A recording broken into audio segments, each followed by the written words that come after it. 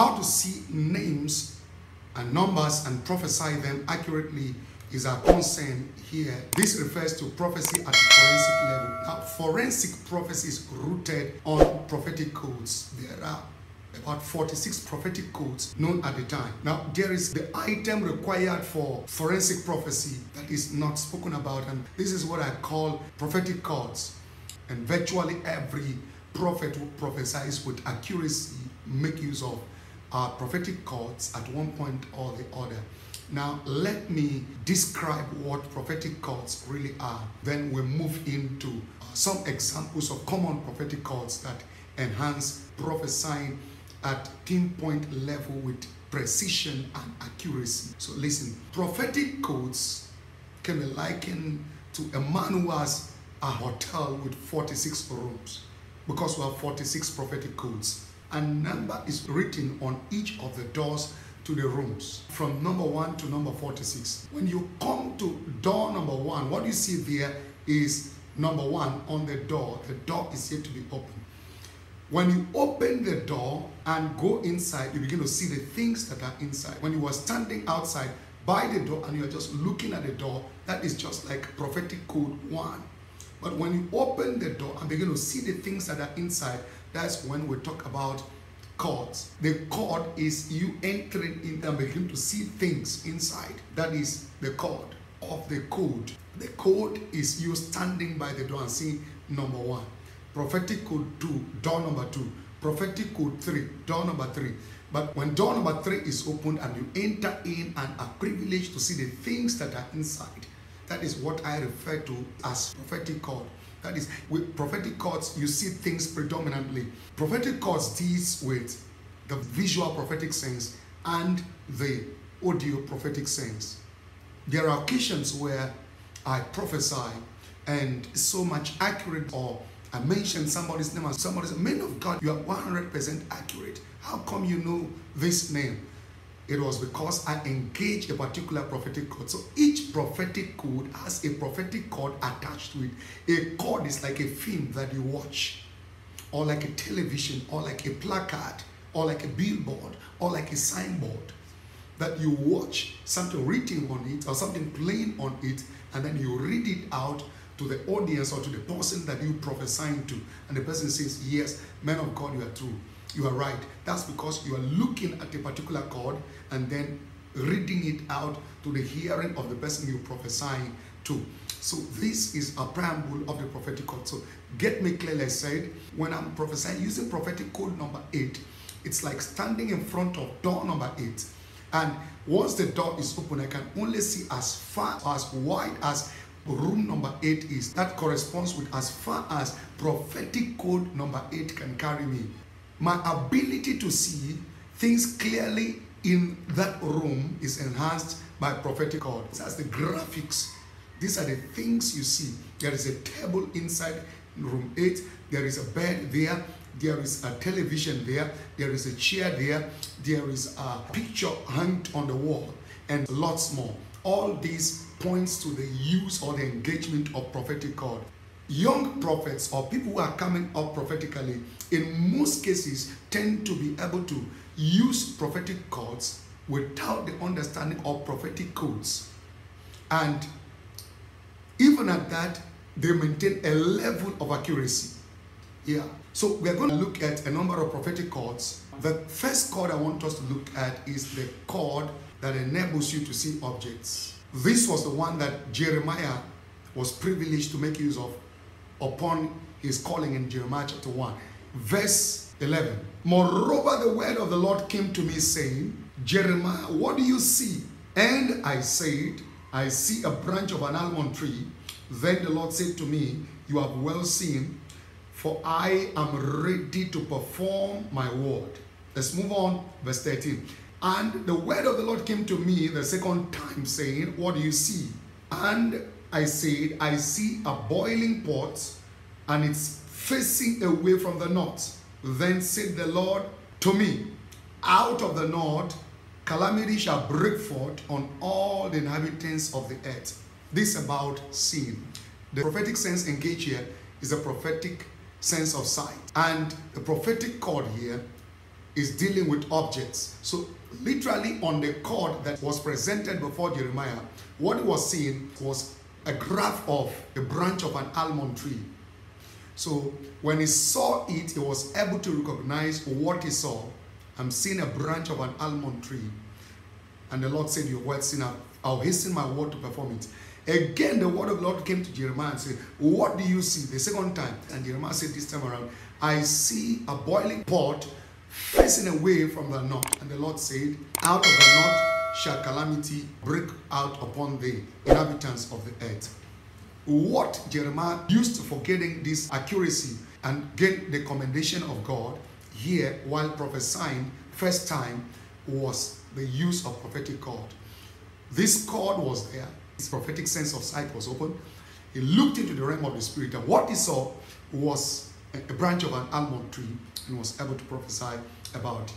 Now, this prophetic cord can be observable when you are using prophetic code number one, where you put everything within a circumference and you are able to prophesy by proxy. Or this prophetic cord can also work for you as you prophesy using prophetic code number eight, where you now can rewind time back to about 3,000 years ago or fast forward time to about two or 3,000 years ahead of you or more. What this prophetic cord help you to do is to paint a picture of things for you, show you the picture of these things. Sometimes they are moving pictures. You see them either in a placard placed side by side by the person you are prophesying to, or atop the head of the person you are prophesying to, or on the chest of the person you are prophesying to, or an angel of God is standing by the side of this person you are prophesying to, and the angel shows you a placard or a board or a video in the realm of the spirit, and you begin to watch what is happening there, and then you disclose what you are seeing. So prophetic accuracy can be enhanced when we are versatile with the use of these materials. So as a student prophet or as a prophet, when you're looking at somebody or the Spirit of the Lord brings your attention at somebody in the congregation or in a live broadcast and you look at the person, chance is that a cord will appear there in front of the person. You're going to see things. God wants to talk to you about this person. Look at what is there and then bring out. The moment your prophetic sense of sight is activated, you'll be able to see the code of this person's case. Long before I knew anything about prophetic code, I was using prophetic code and I was getting it accurately. There was a woman who came to a meeting in 2013 and I was in a prophetic session. And when I looked at this woman, right by the side of this woman, there was somebody was pouring red oil away from a can. I saw that person pour the oil away for the first time, pour it off the second time, pour it away the third time. I had the interpretation as soon as I was seeing. The Spirit told me that red oil you see being poured away corresponds to pregnancy three times miscarried now. And I said, Woman, you've miscarried for three times. And she said, Yes, accurate. How did I get it? By looking at her cord and prophesying to her. So there are times when you are head on with a case you're about to prophesy to, the Spirit of God will bring the prophetic cord to you. An angel will present the cord to you, or the cord will just appear atop the head of the person, the chest, or somewhere else. And you begin to prophesy, reading the cord or viewing the cord. This is, is about seeing objects, like was the case with Jeremiah. Zechariah the prophet also was one of those prophets that used this prophetic cord. Zechariah the prophet used it when he talked about, I saw the four horns that scattered Israel, Jerusalem, and Judah, and that no one could lift up their head in the land. Then he looked again and he saw four craftsmen coming in the realm of the spirit to rebuild. Now, what was he using? He was using the prophetic cord that enhanced the visualization of objects. I call this prophetic code prophetic code number one. It helps you to visualize objects. In prophetic code number two, you hear sound in the realm of the spirit. The blend of sound and visual. Just like the Samuel prophetic code, where Prophet Samuel can stand here and begin to hear sound of joy, sound of music or something ahead of him. That was one of Samuel's major prophetic code that he made use of in his time. Dealing with prophetic cord that is responsible for this, there is a blend between sound and the visual. you are both hearing and uh, seeing the same time. A good example can be that case of Jeremiah prophesying Jeremiah chapter 20 and verse 2. Then Pashur struck Jeremiah the prophet and put him in the stocks that were in the high gate of Benjamin, which was by the house of the Lord. And it happened on the next day that Pashur brought Jeremiah out of the stocks. Then Jeremiah said to him, The Lord has not called your name Pashur, but Magog Mishabib. For thus says the Lord, Behold, I will make you a terror to yourself and to all your friends, and they shall fall by the sword of their enemies, and your eyes shall see it. I will give all Judah into the hand of the king of Babylon, and he shall carry them captive to Babylon and slay them with the sword. Yet Jeremiah said, God doesn't call you Pashur. He calls you Magog Mishabib. This prophetic sense engages or just the sense of hearing, where Jeremiah was able to tell Pashur the current name that God calls him, that by implication meant a terror. That was the implication of the new name that God called the man Pashur. You shall be a terror to yourself, to your friends, and to your people. And note this terror again shall come upon Israel. The king of Babylon will come and take away everybody in Judah into captivity. Now, when he was talking to Pashur, the name Magog Mishabib popped up in the realm of the spirit. Now, why was Jeremiah able to get the name? It was because he had a Hebrew clue to the meaning of the word Magog Mishabib. So God was able to communicate with Jeremiah on that name via sound because he didn't say I can see Magog Mishabib written about. He said God calls. Calling means that it was sound that Jeremiah heard. So to be able to use this second prophetic call, you must have been familiar with the words in quote that will pop up in the realm of the spirit to your hearing. And then you hear them. And as you are hearing them, it is corresponding with some other graphics you are seeing. Now, when Jeremiah was talking about you shall be a terror to your friends and to the people, it was actually in the real sense visualizing how this man was going to be terrorizing them. There are occasions when you are prophesying as a prophet, as you are speaking, or as you are seeing it, or as you are hearing the voice, you are seeing the play of what you are talking about at the same time. This is when you are using prophetic code number two as attached to the Samuel code. Let us look at another example from Isaiah the prophet. Now, in Isaiah chapter 8, from verse 1, Moreover, the Lord said unto me, Take a large scroll and write on it with a man's pen concerning Mahashalal Hashbaz. And I will take for myself faithful witness to record Uriah the priest and Zechariah the son of Jeberechiah. Then I went to the prophetess, and she conceived and bore a son. Then the Lord said to me, Call his name Marshalal Hasbaz. For before the child shall have knowledge to cry, my father and my mother, the riches of Damascus and the spoil of Samaria will be taken away before the king of Assyria. Engaging this cord here, Isaiah had a word pop up in the realm of the spirit, Maharshalal Hashbaz, to be the name of a son that he was yet to produce. And he went to the prophetess, his wife, as husband and wife, and they conceived and gave birth to a son. God said to Isaiah, name him Maharshalal Hashbaz. And God said, before this child will be old enough to say, my father, my mother, the riches of Samaria will be taken away from before the king of Assyria. You get that. The word pop up, and Isaiah was instructed to take a board and then write on it. Can you see that? When the word was popping up, Isaiah was visualizing the written word at the same time.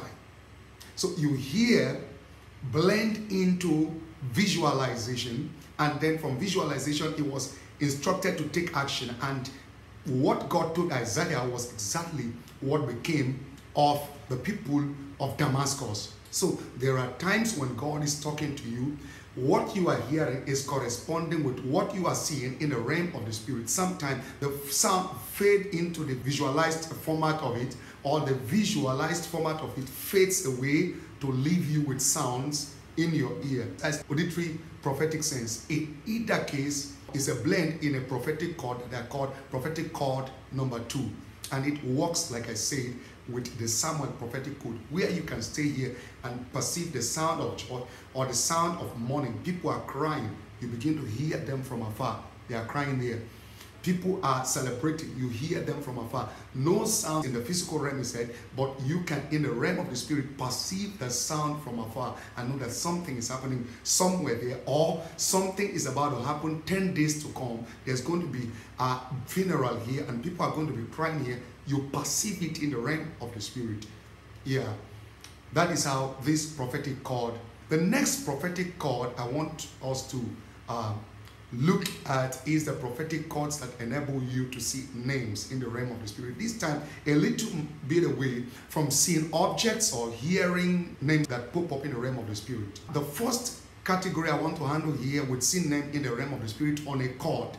Remember I said the cord is like a film that you look at or a placard in the realm of the spirit. Now you're looking at somebody and on top of the person you see prosperity or progress or the name of the sickness, tuberculosis, written there on a board atop the head or on the chest or by the side. Or an angel just show you and you begin to read the problems this person is coming with. I'm narrowing this a third prophetic cord to the one that enables you pick names. Now, the name is written in full, and these kind of names written in full are the ones that you are familiar with, although the person you are prophesying to, you may not be familiar with the person, but the prophetic cord you are engaging, you are familiar with it. So you can now look at the name straight and then pronounce it. This is John, this is James, this is Jonah, this is Andrew. The other picture of prophetic cord I want to expose you to is this one has to do with the use of letters that is to give you names. But in this case, because you are not familiar with this name, maybe you are uh, a Nigerian and you are prophesying somewhere in South Africa and China, this name is new to you to be able to know this name and call it out. The letters have to appear because you know the alphabets already. God will supply them in form of alphabets. The alphabets now becomes the objects painted or arrayed on the placard in the realm of the spirit. Because you know these alphabets, you can put them together technically and get a name out of the alphabet. The same thing to numbers that can either combine to make a phone number, bank account number, national ID, or house address number, and the likes. Anyone that you are not familiar with will usually appear in the realm of the spirit as alphabets that are spreaded as objects, and these as alphabets will be brought together by you as highlighted in the realm of the spirit. You put them together and begin to work with them. So the code actually aid the functioning of the code. The code, like you're standing by the door, you open the door, inside the room, you're going to see everything inside. That's where the code now comes into play its role. It reveals to you the things that are of concern. Now, beyond prophesying names and things, there is this other aspect of prophetic code that has to do with either a pre-play of something that is about to happen. You're watching a TV, I'm with you, but maybe you back me facing a particular location where the Spirit of God is talking to you uh, about me from, and you're watching something like TV in the realm of the Spirit, and that's telling you everything about me. You watch everything, then you look at me and you begin to prophesy. I've used that prophesying to people on several occasions. Or I'm praying with a group of people and God wants to talk to me. I'm going to face a particular direction sometime eastward and I'll begin to watch something that is something like a television in the realm of the spirit, and I'll like disclose what's happening. It's like a pre-play of what's about to happen, or a post uh, a, a, a post play that is this thing has happened in your life long ago, but I'm looking at you right now, and it's like a TV set just pop open in the realm of the spirit, uh, and then pop on in the realm of the spirit and begin to show me everything about you from childhood to adulthood. And I begin to tell you stories about your life, things that have happened in your life in the time past, and you're like, wow, how come you know all this? It's because I'm using this particular prophetic cord that has to do with replay of what has happened in the past. This is an advancement from the word of knowledge where you just hear something that happened in the past can you see that when it comes to spiritual gift? But prophetically, this is how we do it using prophetic call.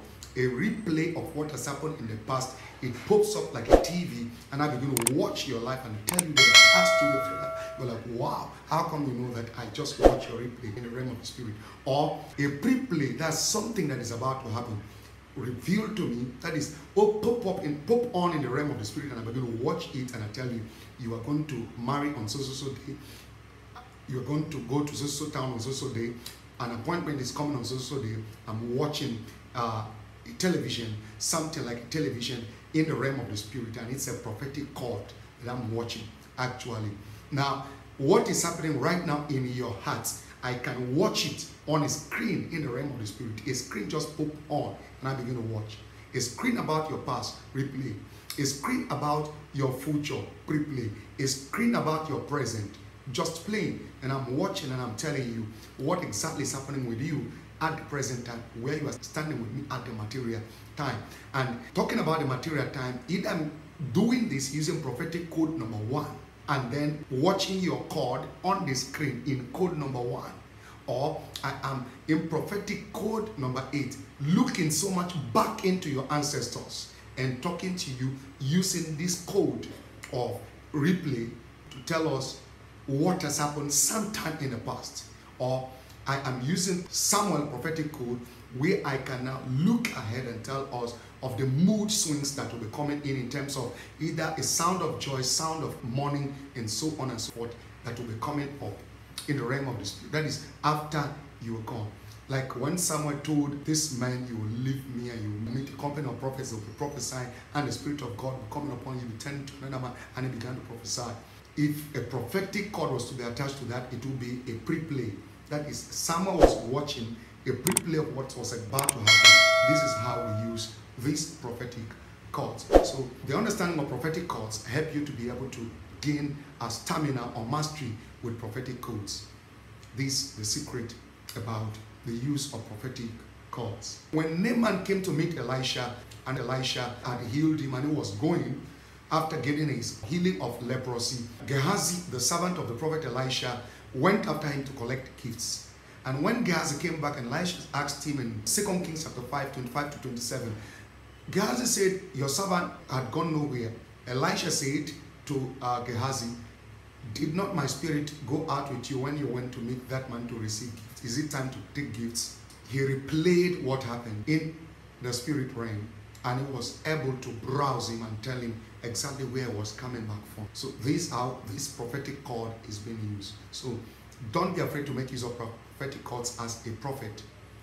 It is in existence, we use it. can look at you like this. The moment I'm looking at you, I look at the cord bearing your case I atop your head or beside you, or an angel is showing me a placard bearing your case, or a screen just appear, pop on in the realm, the spirit now begin to watch what's happening, and I'll begin to disclose to you. Jesus prophesied this way when he told Nathaniel, I saw you when Philip was calling you, when you were still under the fig tree, you know, it was prophetic cord that Jesus engaged. I pray that your eyes be opened so you can engage the use of prophetic cords as you prophesy your spiritual eyes and your spiritual ears because prophetic cords works best on sight and uh, hearing.